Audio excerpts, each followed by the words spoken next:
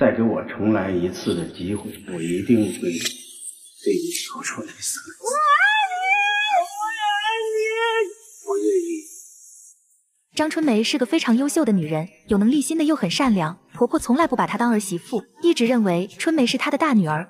春梅这些年把婆婆照顾得无微不至，儿子也考进了名牌大学，就连有能力的小姑子都佩服二嫂的人品。伟强跟春梅的感情一直很好，两人是大学同学，毕业后就结婚了。这份家业是两人携手创下的，应该是感情非常深厚的。可是倪伟强不知道怎么了，突然提出离婚，态度很坚决，大家都误认为他有了小三，就连春梅也曾经怀疑丈夫出轨。一番探查下来，丈夫就是焦虑了。